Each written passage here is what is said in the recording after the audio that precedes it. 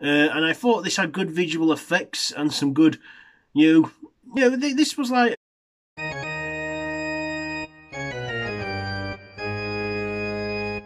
Listen to them, children of the night. What music they make.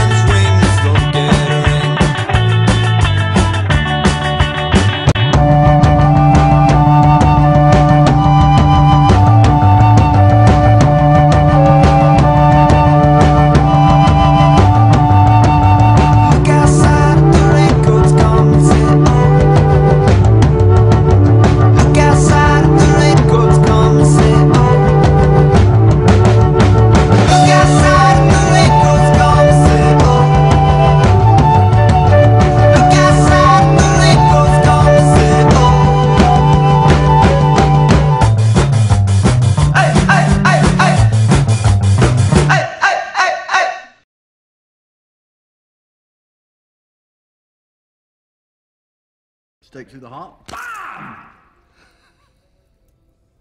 Cool. So, so that stuff really works. How the fuck's he on?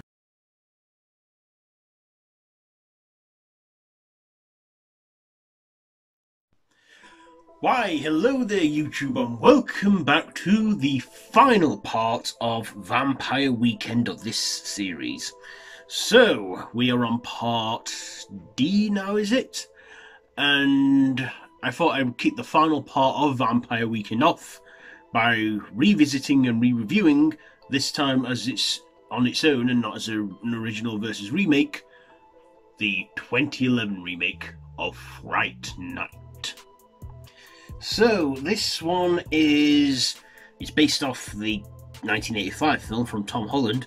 Uh, this is directed by Greg uh, Gil Gil Spy or something and it stars the late Anton Yelchin, uh, Colin Farrell, Christopher Mintz-Plasse, or as I like to call him, McLovin, um, Imogen Poots, um, David Tennant, yes, Doctor Who, and Toni Collette.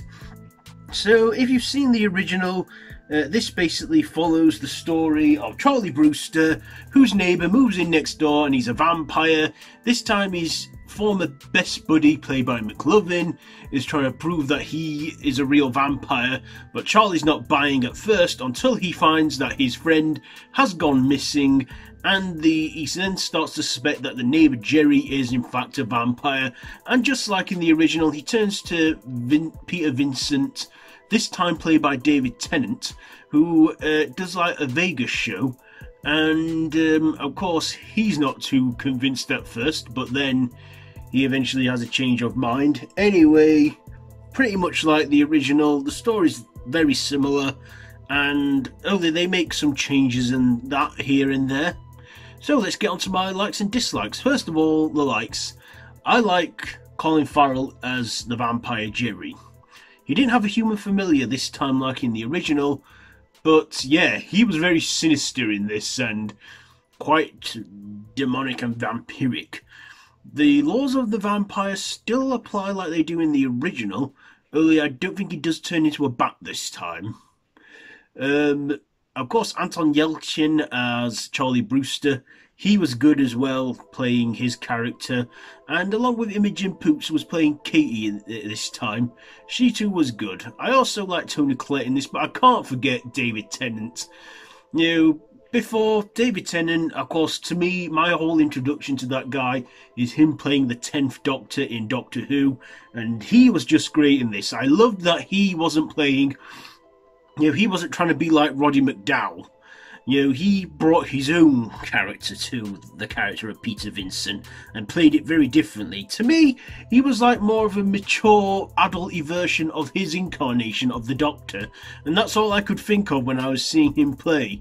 You know, he was just, you know, basically playing a drunk, slimy asshole version of the 10th Doctor, but I loved it. I loved David Tennant in this, and for that, he was just a show stealer. I also like McLovin in this too. He was a fun character. Well, he wasn't in it very long, he was very sudden and brief. He didn't. I feel like, you know, well, I'll get to that in the dislikes, but he was good. Uh, and I thought this had good visual effects and some good, you know, you know, this was like an updated version for the modern generation, I think. Um, so, what do I have negatively to say? Well, it's a remake, and I thought Fright Night was a good classic and it didn't need to be remade, but this one, it was an okay remake. It wasn't terrible, it wasn't bad, but I felt like it, it didn't feel necessary. But I like that, you know, they didn't do it all shot for shot and they changed the setting and everything, and part of the story, and especially the character of Peter Vincent. But, um, yeah, also McLovin's character. Um, he, I feel, wasn't in it as long and didn't have much character development like in the like his character he plays in the original. And you know, but we do still see him as a vampire. But again, he's not a vampire for too long. But um, but yeah, uh, I, I like this. It was okay. It was kind of predictable because I knew what was going to happen in this because I've seen the original and I had a rough idea of what was going to happen at the end. And of course, it ended the way I thought it would end. So yeah, is it a good remake? Yeah, it's an okay remake, but if you had if I had to pick between the original and the remake, definitely the original. Anyway, Fright Night 2011, what am I going to rate this one? I'll give it I'll give it three and a half stakes out of five. Three and a half stakes out of five for um, Fright Night 2011. So, that's it for today's episode of of Vampire Weekend. So, do join me tomorrow where I will continue this uh, trend. Uh, well, not trend, this weekend. So, yeah, I'll see thee tomorrow and yeah, and if you like this video, be sure to give it a big thumbs up, share with your friends, feel free to subscribe to my channel if you haven't already, and to hit that notification bell. All my social media links are linked down below in the description, so be sure to check all that out.